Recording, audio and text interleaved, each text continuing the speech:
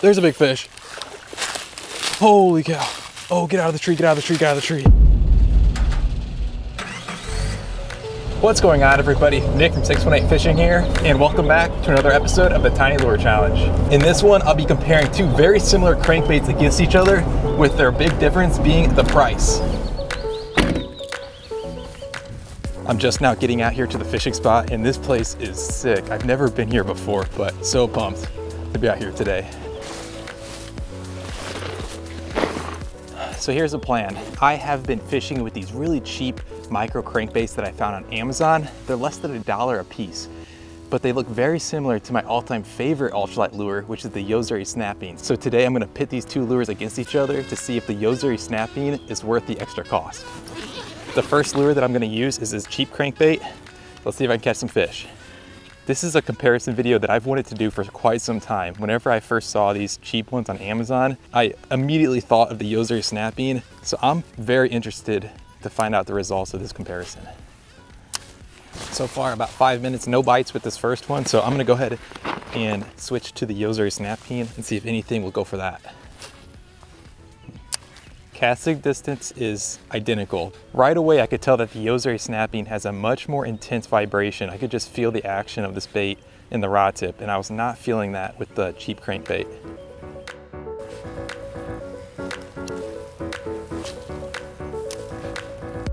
All right, I've been fishing this uh, this first pond for about 30 minutes. I've not gotten a single bite, so I think I'm gonna switch over to that other pond it's a little bit different. The water clarity is a lot different, but there's also a lot of rocks. So I think these little crankbaits might do good bouncing off those rocks.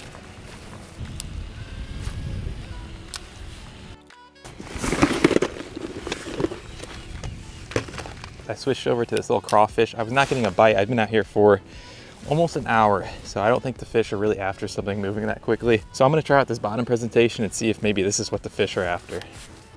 It's been a struggle, guys. I've been almost around this pond, then I was around the other pond. Fishing is, uh, is pretty slow. Oh, there's a fish. All right, guys, finally have one. Little crappie. I will take it.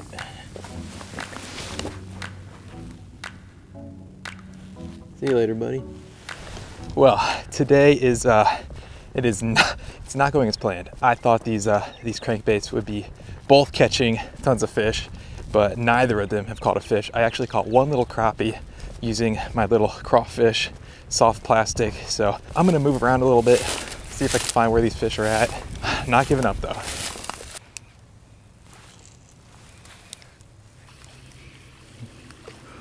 All right, first catch down here. Got me a stickfish. And it's gone. See you later, buddy. Here's the game plan. I am not having any luck at this park, so I may give it a little bit longer. Then I'm gonna go to a different fishing spot because I know these crankbaits can catch fish, but for some reason I'm just not getting, not getting many bites here.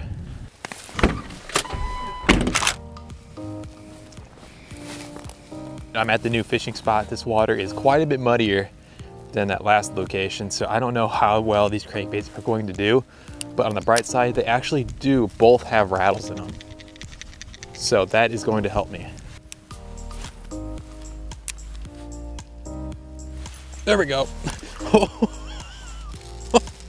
Holy smokes. I don't know if I got that on camera, but when I set the hook, this guy came flying out of the water. First fish today with the micro crankbait, and it's on the Yo-Zuri. See you later, buddy.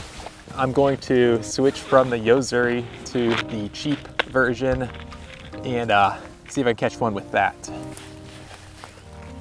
To keep this as fair as possible, I'm going to try to use the uh, same color schemes when switching between the baits. So I really only have two options. I've got this silver and a yellow. I caught that first fish using the silver on the Yo-Zuri, so I am going to use the silver on the cheap one.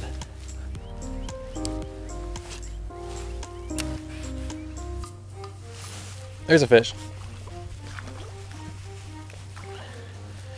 A little bluegill, a little bit bigger than that last one, but so far these crankbaits are tied one apiece. See you later, buddy. With this water being a little muddier, I was certainly expecting the uh, cheaper one to take a little bit longer since the action isn't as crazy, but it actually surprised me. So I switched back to the Yo-Zuri. This time I switched over to the gold with a black back. And I also changed locations.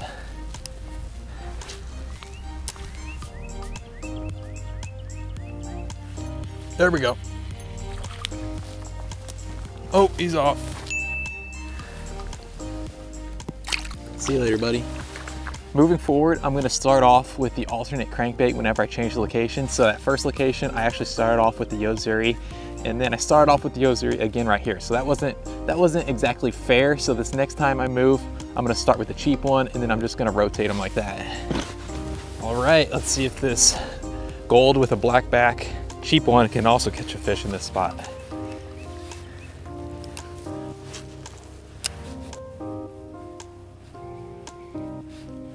Oh, there's a fish. Oh, it's a bass, it's a bass. Oh, please stay on. No way. There we go. First cast with the cheap one, guys. No way. Was not expecting that. See you later, buddy. Well, I think it's pretty obvious that this cheap crankbait just took the lead after catching that bass. Not only did it catch that bass in the same spot I was fishing that Yo-Zuri Snap-Bean, it caught it on the very first cast, which is shocking to me.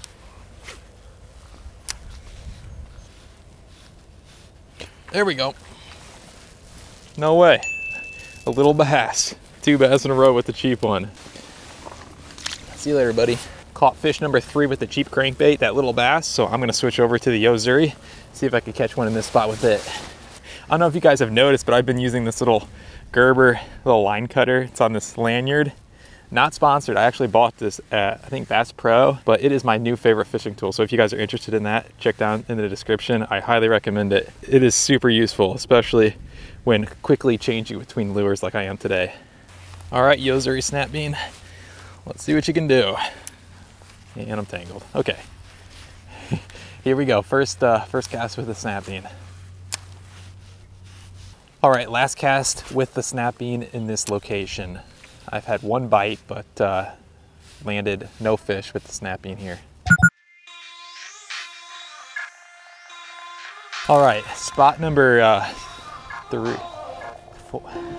Spot, no, I don't know, I can't, I can't count, but this is the next spot. Starting off with the Yo-Zuri. The last location, I started off with the cheap one, so see if I can catch a fish here. All right, this is gonna be my last cast in this spot with the Yo-Zuri, then I'm gonna switch over to the cheap one.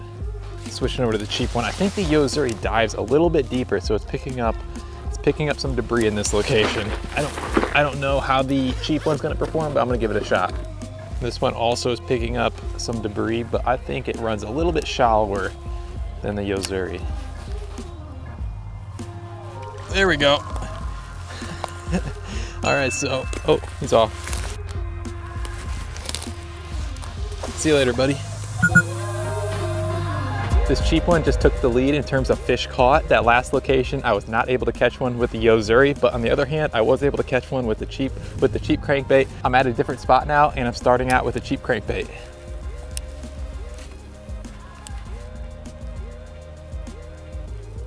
Oh, there we go. no way. Bass number three with the cheap one. Not very big, but it is still a bass. See you later, buddy. All right, Yo-Zuri, let's see what you can do, buddy.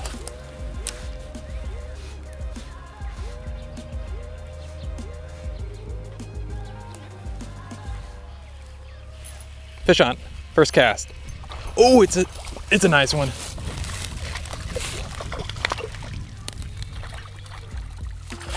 Oh, how am I gonna get him out? Okay, easy, buddy. Yes, first bass with the Yo-Zuri. Not a bad one at all. This might be the biggest of the day. It's very similar in size to that first one I caught.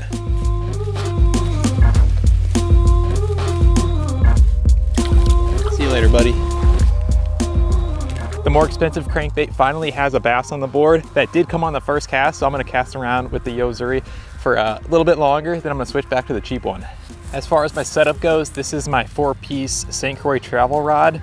On there I have my Pflueger little President reel spooled with four pound fluorocarbon.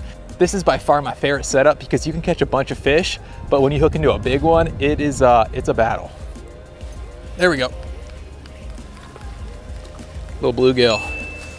Fish number two in this location with the Yo-Zuri. I'm gonna switch back to the cheap crankbait and uh, change up spots. See you later, buddy. New location, I'm starting out here with the cheap crankbait. All right, no luck here with the cheap one. I'm switching over to the Yo-Zuri. I only have about 15 minutes left, so it's coming down to the, it's coming down to the wire.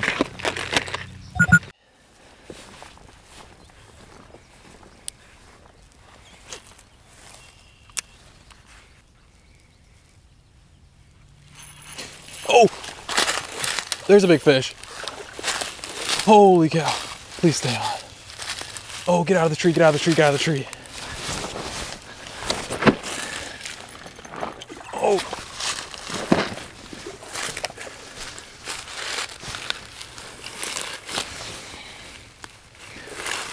Up. Woo, doggy. That's what I'm talking about. Holy cow, he he completely creamed the Yo-Zuri crankbait. Yes. Whew, that was intense.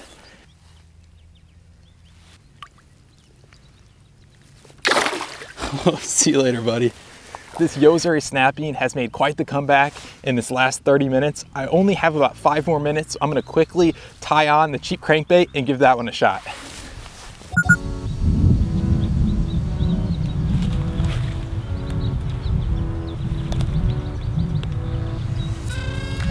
Oh, there's a fish. This feels like a nice one.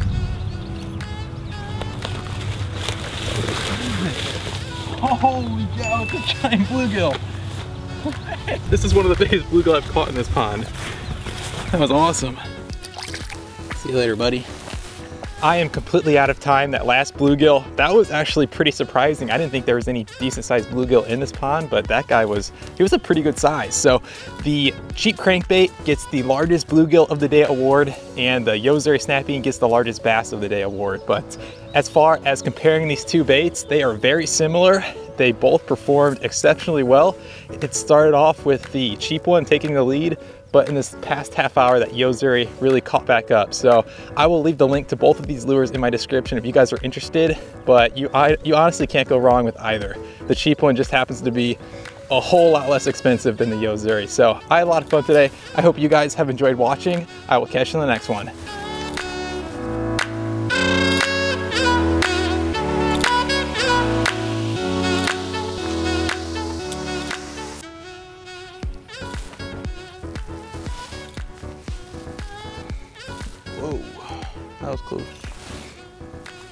All right, where is it?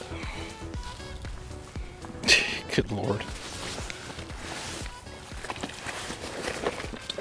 Oh, okay, I'm sinking. Oh, going down. Oh my gosh, you guys, you're not gonna believe where this just hooked.